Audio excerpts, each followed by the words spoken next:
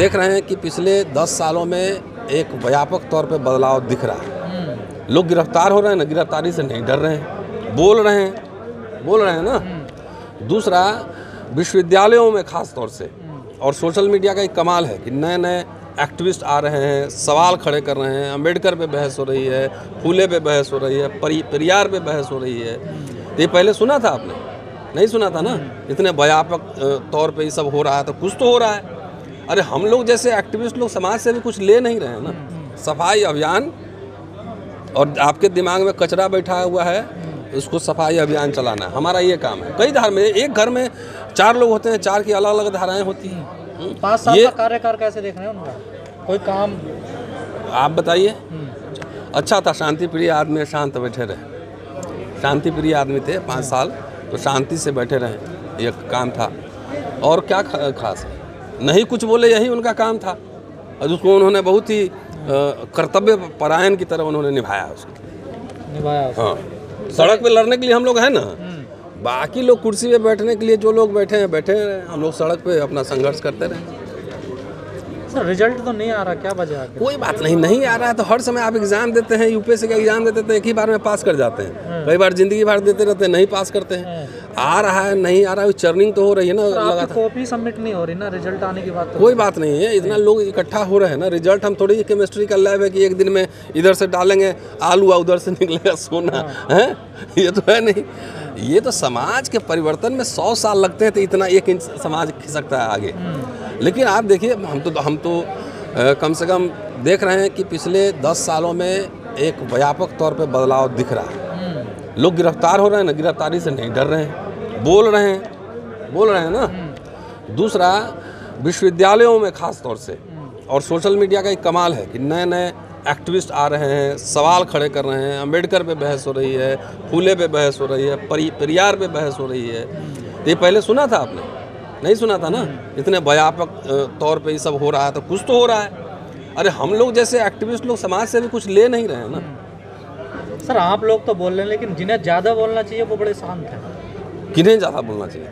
जो नेता हैं जो लीडर हैं। तो तो नेता जवाब देगा ना वो सब तनख्वाह लोग हैं तो उस पर क्या टिप्पणी करें? तनख्वाह मिलता है टी टीएडीए में। हमारे दलित बैकवर्ड नेता सब तो आते हैं तो पहले एयरपोर्ट पर उतरते लाइट देख के ऐसे लाइट देखते रहते हैं। कितना बढ़िया लाइट है। चार साल तक कनाट प्लेस घूमने में अशोका होटल ली मेरेडियम में सुबह में बैठते हैं तो लगता है जन्नत मिल गया।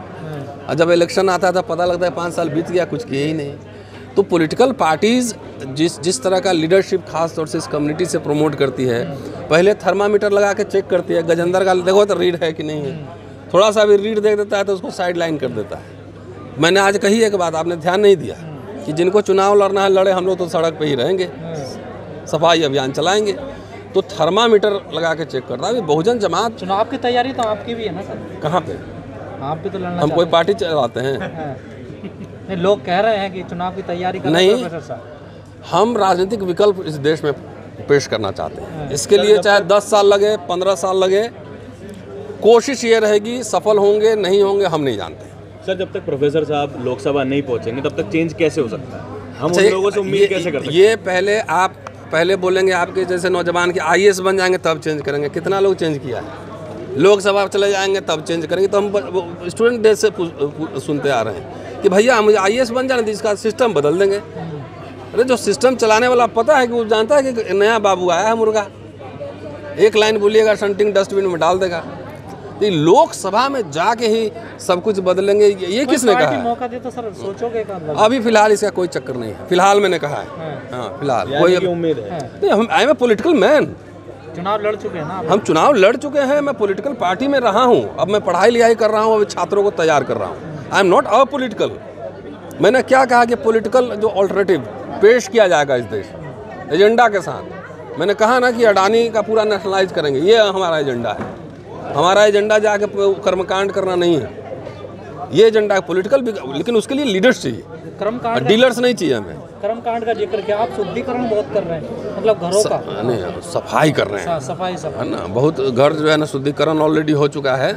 जब सफ़ाई के मैं टीचर हूँ। जब हमारे छात्र आते हैं तो पहले उसका स्लेट जो है पहले साफ़ कर देते हैं। नया स्लेट चमकता रहता है, तब उस पर चौक से लिखिए तो साफ़ साफ़ दिखता है। हज़ारों साल का जो कचरा घुसा हुआ है ये काम तो बुद्धिस्ट मॉन्क लोगों को करना चाहिए था।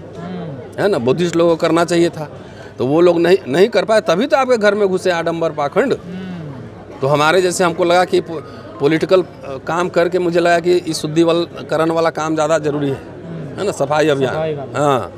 तो इसको सफ़ाई करो पहले। मोदी जी की सफ़ाई में और आपकी सफ़ाई में क्या अंतर है? सड़क पे झाड़ू लगा के फ़ोटो खिंचवाते हैं। हाँ। हम रोज बोल बोल के 500 आदमी को तैयार करते हैं कचरा साफ़ करो दिमागी कचरा हम साफ़ करते हैं। सड़क का सड़क का कचरा तो कभी भी स्टाफ साफ़ कर देगा। दिमागी कचरा जो है उसको साफ़ करने में बहुत मेहनत लगता है। उसको साफ़ करने की तैयारी कर रहे हैं दिमागी कचरा साफ़ करूँगा। ये ये मेरा प्रण है। अगर आपने अभी तक हमारा चैनल सब्सक्राइब नहीं किया है तो सब्सक्राइब करें और घंटी का बटन बिल्कुल भी दबाना ना भूलें, ताकि सभी लेटेस्ट खबरें पहुँच सकें आप पे सबसे पहले।